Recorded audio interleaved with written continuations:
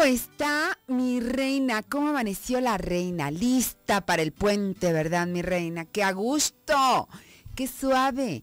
Un, fin de semana largo de descanso. Disfrútelo muchísimo, mi reina, ¿eh? De verdad, disfrútelo muchísimo, como quiera que sea, porque a veces decimos, sí, descansando haciendo adobes, ¿no? Pero no importa, si usted lo disfruta, ¿qué va? No importa, ¿verdad?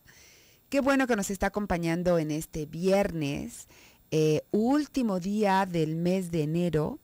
Inicia el año chino. El mes, eh, supuestamente los que saben dicen que este es el año del caballo de madera, ¿no? Este, va a ser bueno para todos, va a ser bueno, mi reina. Claro, es como que hay que ir fluyendo, ¿no? Vamos fluyendo con lo que la vida nos va poniendo y siempre la actitud, independientemente si usted es mono, serpiente, caballo, buey, como sea. Pensemos que este mes es bueno. A mí me gusta más pensar en el, en el aspecto de transformación del que nos hablaba este Oscar que en el aspecto de que no, bueno, que la catástrofe, pues nos tenemos que transformar. Y en estas transformaciones, y le digo porque Écate siempre nos va a acompañar hablando de las diosas sabias. Hécate nos acompaña en estas transformaciones. Es cuestión solamente como de, de, cultivarla, de conectarnos con esta parte sabia de nosotros. Y su sabiduría puede ser a través de eh, lo tangible, de lo mental, como Metis, o a través de Sofía, que, que sería lo espiritual, o a través de Hécate, que sería la intuición, o a través de Estia, ¿no? Que es la mujer completa en sí misma, que ahorita le voy a platicar también de este. Así que acompáñenos en este programa. Hoy es cierre de tema y vamos a saludar a todas nuestras amigas que nos escuchan aquí en Guadalajara, Jalisco, en el 1040 de amplitud modulada Radio Mujer. El Mazatlán, Sinaloa, a través del 1290 de amplitud modulada y 104.3 de FM. Yo siempre le cambio, no sé si es punto 3 o punto 1, pero 104 punto y algo nos están escuchando ahí en Mazatlán, Sinaloa. 95.1 de FM en Austin, Texas y estamos llegando a 63 ciudades de 10 estados de la Unión Americana a través de Cable Radio Network. Para nuestra amiga que nos me escribió en el Face, mi reina, y me dijo que los programas en YouTube no estaban actualizados de diciembre. Ya se lo comenté a mi directora, ya están al corriente. De a poco se van a empezar a poner al corriente. Sí, tuvimos un, una problemita por las vacaciones y eso no, no se podían estar al corriente, pero parece ser que ya están, ¿eh? Parece ser que ya están. Entonces, si tú los checas, ya están listos los programas del YouTube, porque eh, los programas, yo no sé si los pasen todos, la verdad, si se pasa todo o nada más fragmentos. Si se pasa todo, ok. Eh, supuestamente se pasa todo el programa, como ya sabe que tenemos ahora cámara en cabina, entonces todo el programa se graba y usted lo puede escuchar en YouTube. Así que, y volver a verlo en YouTube, en el canal de YouTube, que déjeme le digo, debe de estar por aquí. Debe de estar por aquí el domicilio de YouTube. Ay, lo acabo de ver. Deme un segundito. A ver. Ay. Aquí está, reina. Es Radio Mujer Guadalajara. Radio Mujer GDL. Puede buscarnos en YouTube y ahí va a encontrar los programas de, em, de toda la, barra este, en YouTube para que usted eh, nos escuche y nos vea si algo se le pasó. Vamos a dar inicio entonces a la reflexión del día de hoy para iniciar el programa. Momentos de reflexión dentro de ti.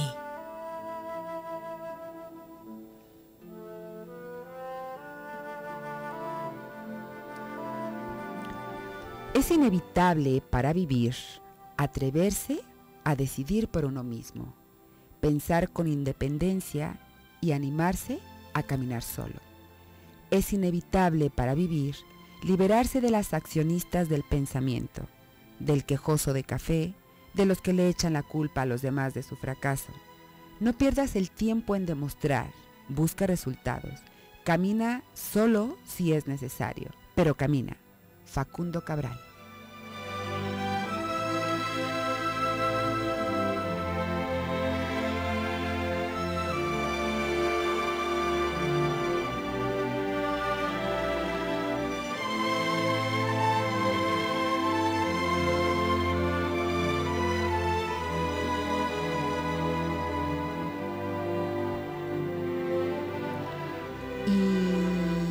Bueno, María Hernández dice, me encontré con su programa por casualidad y llevo una semana escuchándolo, me parece sensacional.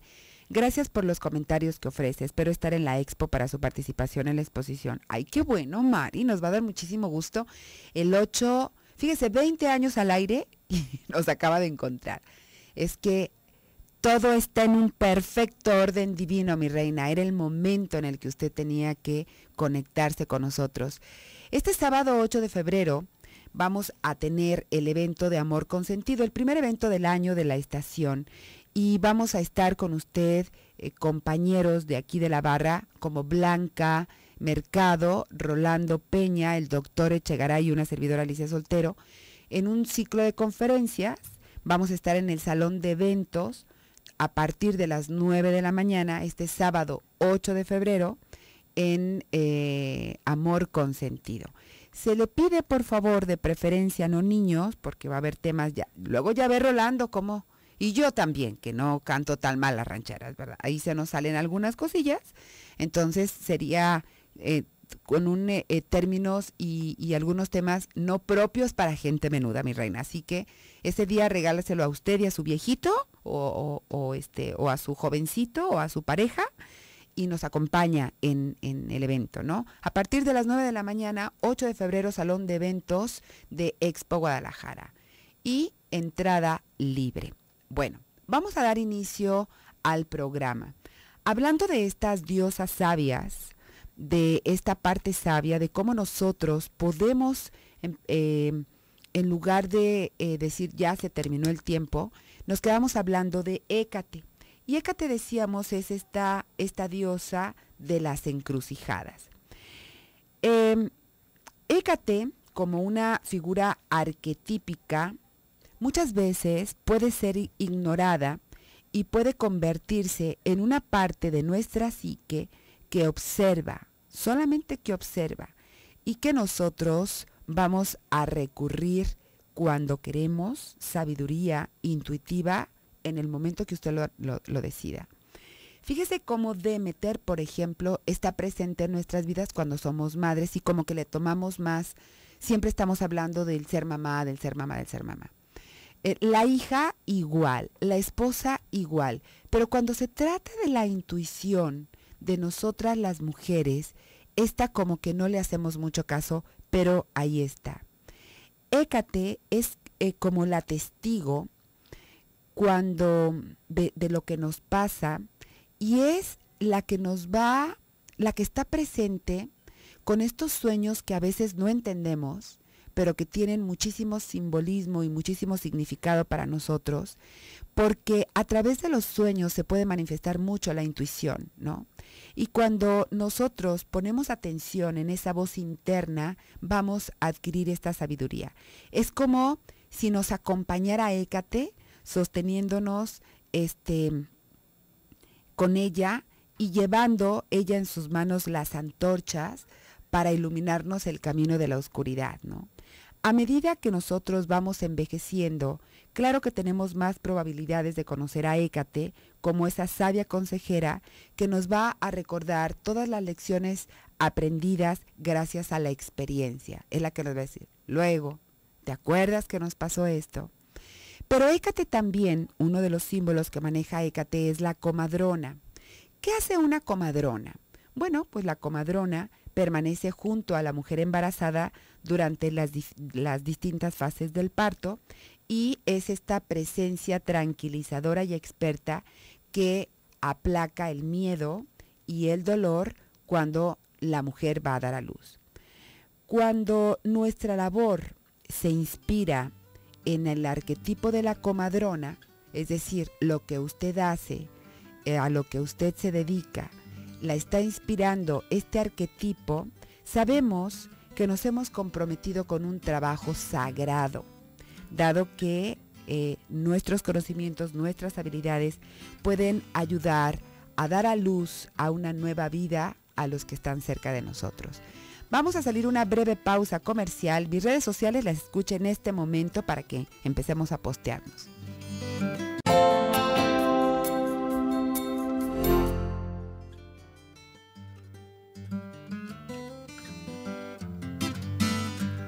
regresamos con la sabiduría de Écate.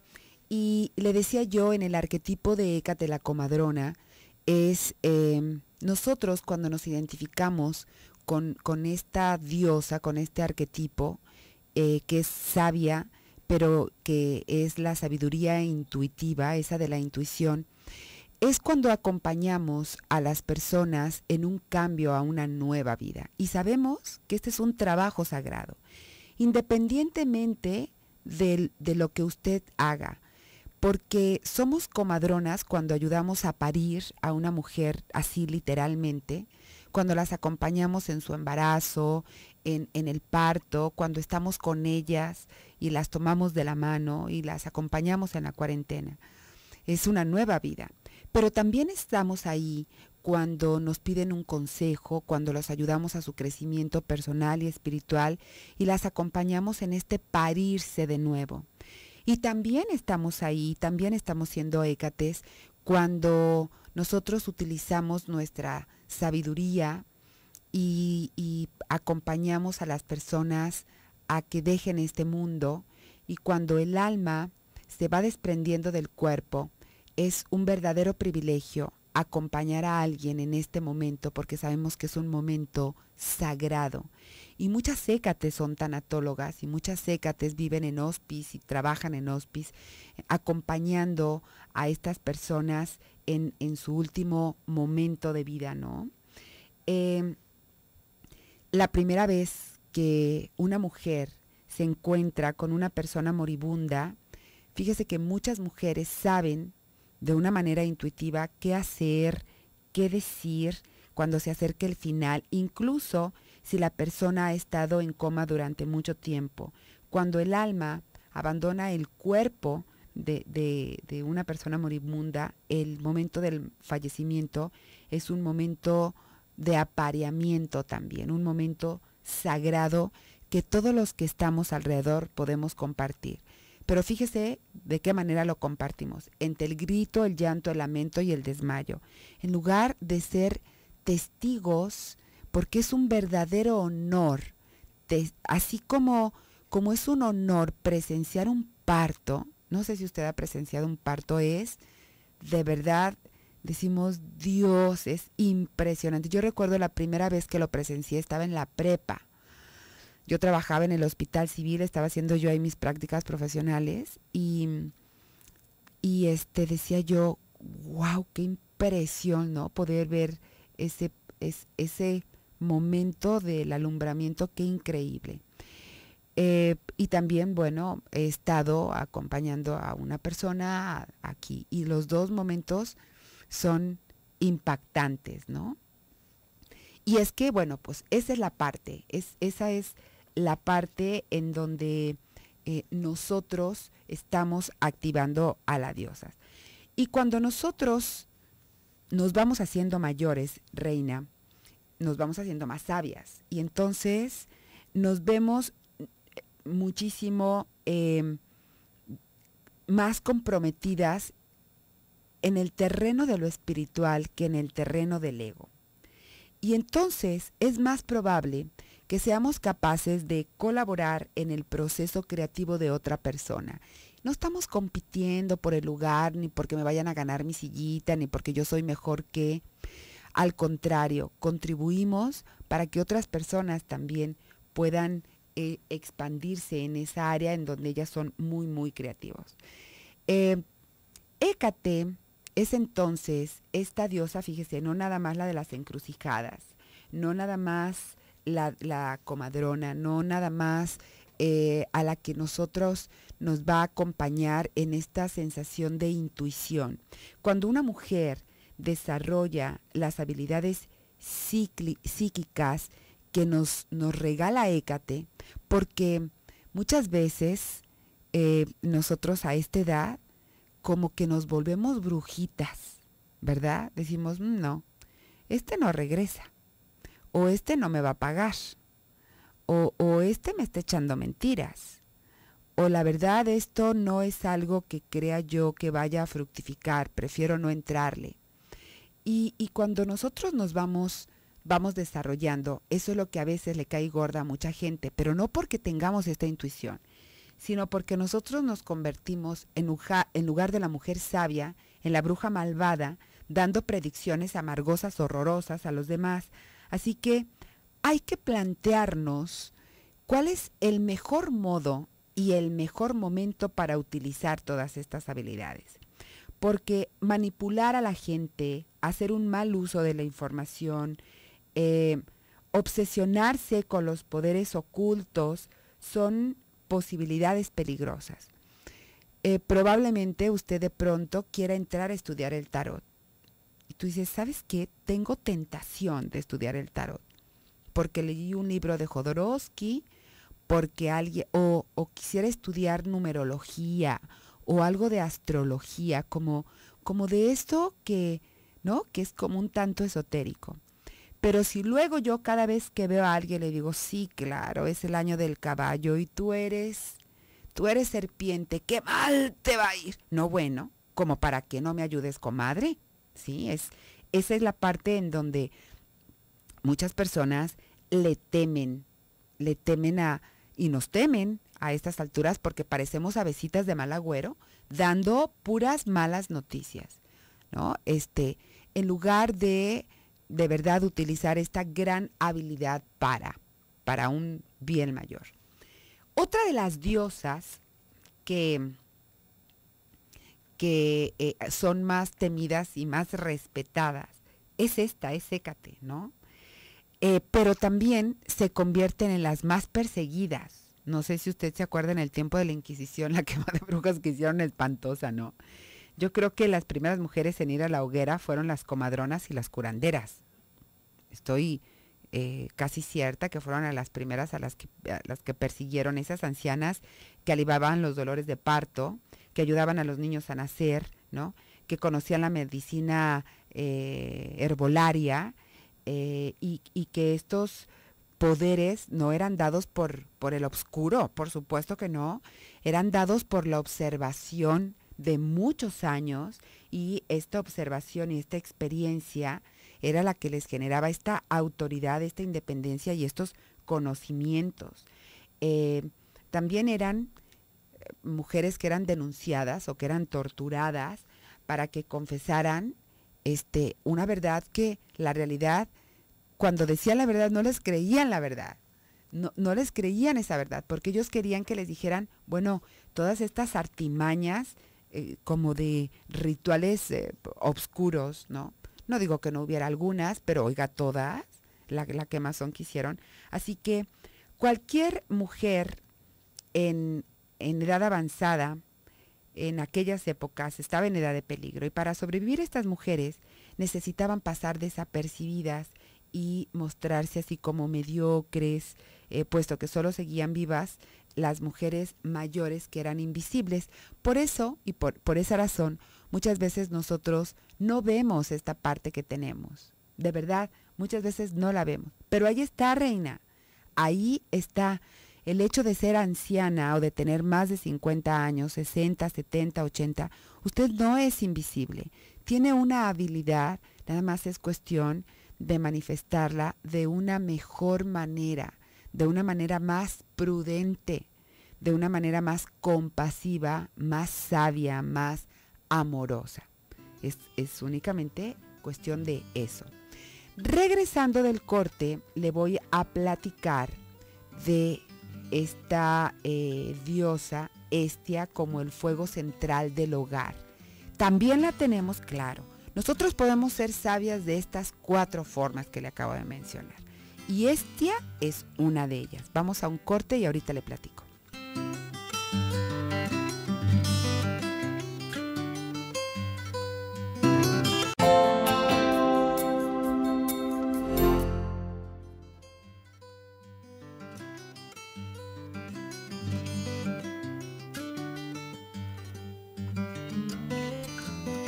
Regresamos a su programa Dentro de ti y vamos a hablar de la diosa meditativa, la sabiduría de Estia.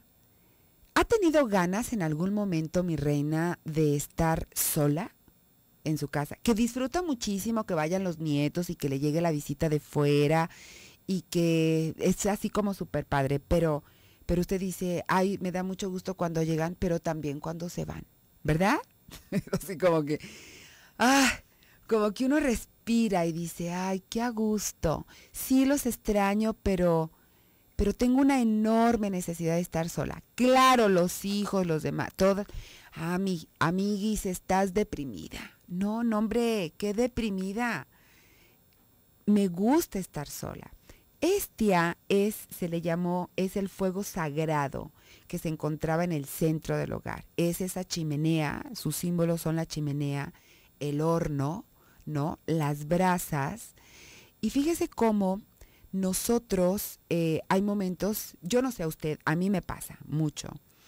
Eh, por ejemplo, cuando me pongo a hornear, ya sabe, sé hornear dos cosas, pan de plátano y pan de nuez no, de, elote y galletas de nuez, punto.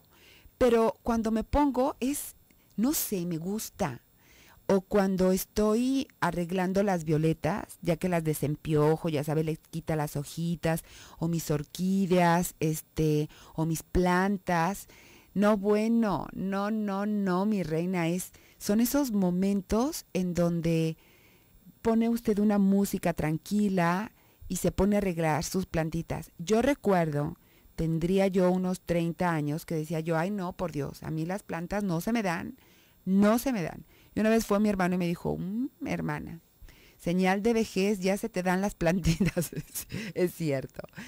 Estia es ella, esa mujer, esa diosa, que nos conecta con esta parte meditativa y que muchas personas la encuentran en el yoga, por ejemplo, o le encuentran en una actividad religiosa, que van y que visitan al Santísimo o que eh, hacen sus grupos de oración, pero otras la encontramos estando en el contacto con la naturaleza, con las plantas, con nuestros animalitos, este, cuando es el momento como de bañarlos o de peluquearlos o de salir a caminar con ellos o, o de arreglar tu jardín o ese momento de solitud, no de soledad, en donde estás tú contigo en tu casa, leyendo un buen libro o simple y sencillamente fumándonos un cigarrito, tomando un tecito, un cafecito, una, copita de vino tinto.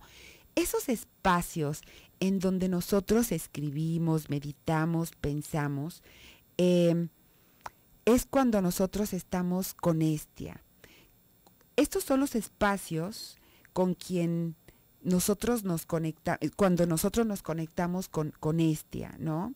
Es em, cuando tocar nuestra solitud es como entrar en el santuario en donde nuestra alma reina en el fondo de nuestro ser. Es como tener este contacto de yo conmigo. Pero no es cuando nos ponemos, ya sabe, a la llora que llora con Paquita la del barrio y todo lo que me hicieron mis hijos. No, no, no, no, no. Es cuando uno se sienta y medita y agradece y piensa, sabe que es eh, la diosa de los atardeceres. ¿Usted disfruta del atardecer?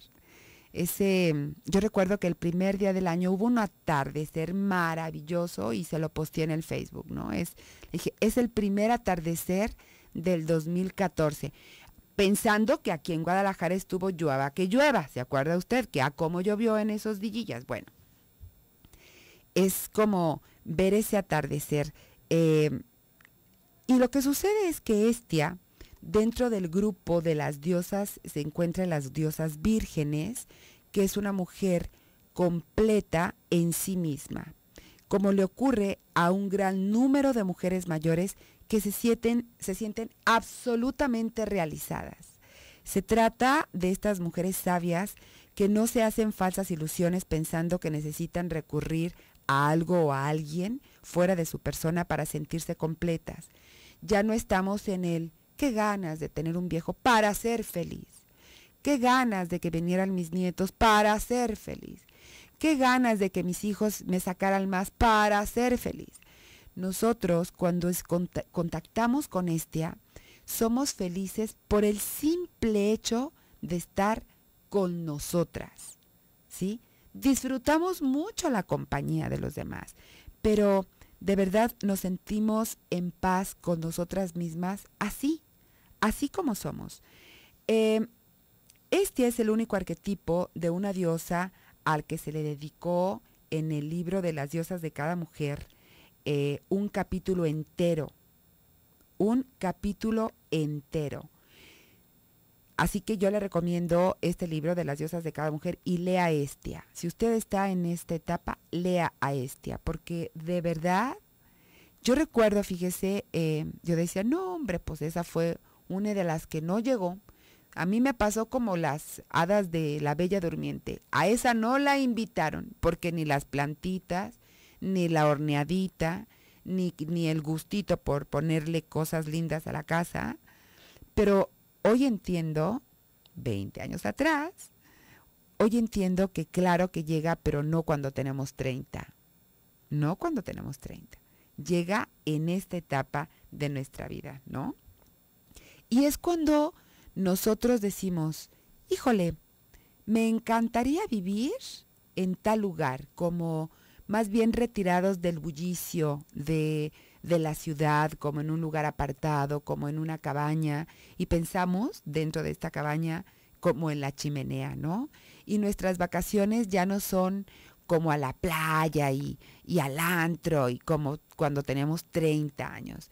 Eh, nuestras vacaciones son, eh, sí, sí es en la playa, en una playa en donde usted pueda disfrutar de la playa, no del ambiente de la playa, sino de la playa, del atardecer, del sol, de la arena, caminar en las mañanas.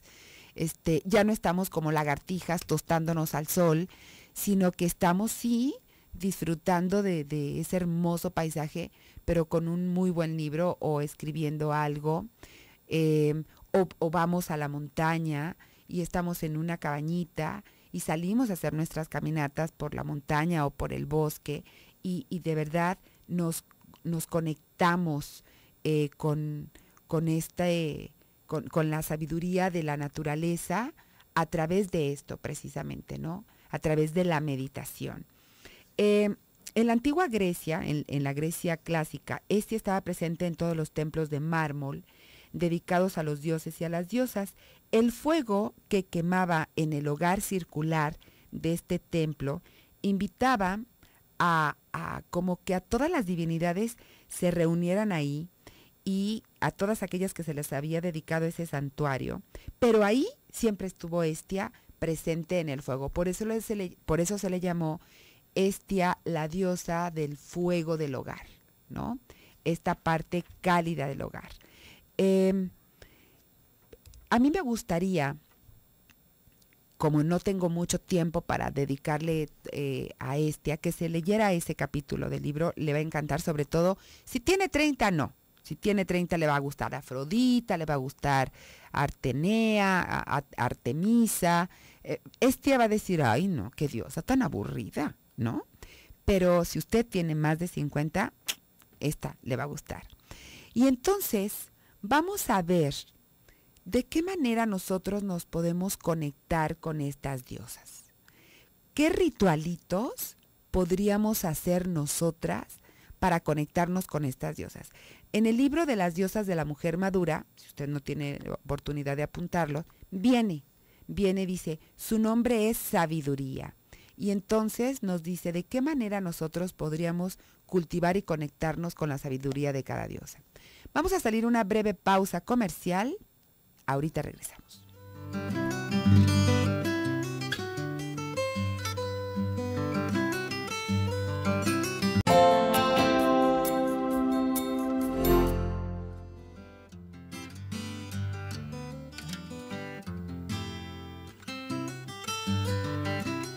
Regresamos a su programa Dentro de ti y nuestra amiguita Maripaz Bonilla nos escribe, dice, te voy a contar una anécdota de esta mañana. Mi hijo de cuatro años se resiste a ir al cole y entonces en las mañanas cuando lo, lo ayudo a vestirse, estando en calzoncitos, lo abracé y le acaricié y le dije, déjame tocar esta pielecita hermosa. ¿Sabes qué, Alonso? Tú tienes piel de alguien que va a volar muy alto. y le contestó Alonso, Sí, voy a volar cuando sea grande porque voy a ser Superman, porque ahora soy chiquito y soy Superboy.